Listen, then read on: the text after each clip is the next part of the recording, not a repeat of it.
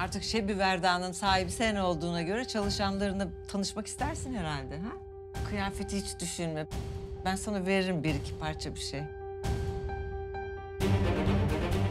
Yeni hayatımıza hızlı başladık. Ya bütün sosyal medya çalkalanıyor. Şimdi gazeteciler de doluşacak oraya. Efe'cim derhal terk et orayı. Neden açmıyorsun telefonlarımı? Sen bunu niye yapıyorsun? Sen hırsız mısın? Aptal ben seni korumaya çalışıyordum. Kolay mı birinin ölümüne sebep olmak? Sen benim karım olacaksın. Bunu o kafana sok. Mete anneme her şeyi anlatırım. O gece olan her şeyi anlatırım bırak. Herkese söyle. Abine, babana, hatta polise söyle. Ama şunu önce bir izle istersen.